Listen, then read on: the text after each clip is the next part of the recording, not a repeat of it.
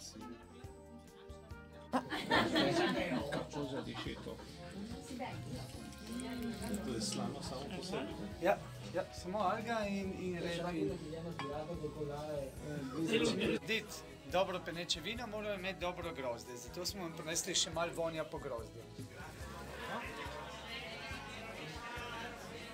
Sladoled jagode, na vrhu peneče vino. Jagode.